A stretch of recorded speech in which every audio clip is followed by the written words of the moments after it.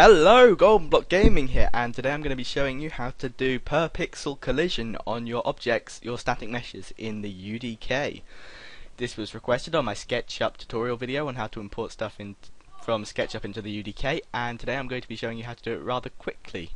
Right, so what we're going to do is we're going to bring up the content browser, so you're going to go View, Browser Windows, Content Browser, and I'm going to assume that you've already imported your static mesh as you can see mine is here. So what we're going to do is we're going to double click the static mesh and it will bring up this window, this window here. It's the static mesh editor, you should have seen it before if you're watching this video.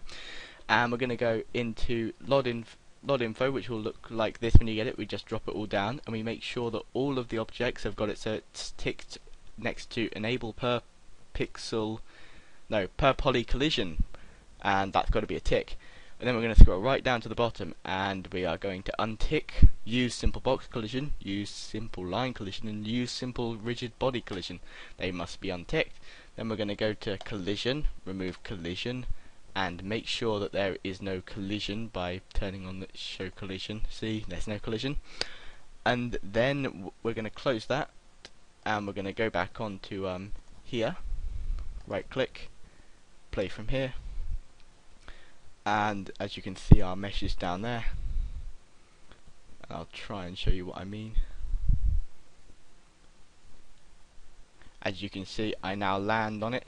I land on the elevated part. And if I walk over it I should fall into the non-elevated part. Yeah.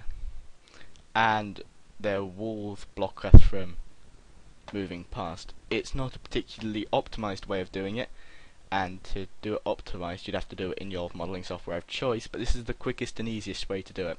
I hope this video has helped you. Good night.